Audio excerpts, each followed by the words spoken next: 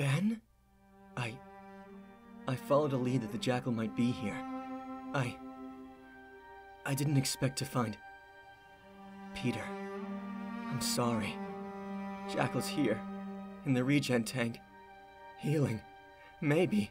From bullets you took from me. And you and I can talk. If I could make the results of the test different, make me the clone and you the original, I would. I'd been living the last five years of my life believing I was your clone. I lived with it. I accepted it. But believe me, it's not as bad as you think. Don't push me away, Peter. Don't alienate yourself. I've been there. I know what you're going through. I know how you feel. You know how I.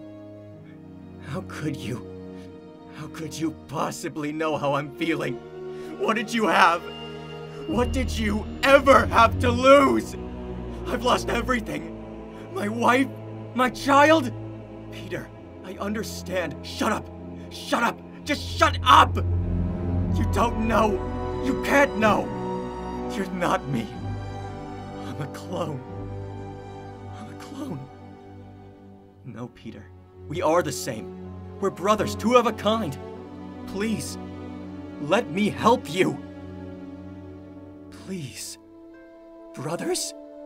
Don't kid yourself, Ben. We're a universe apart.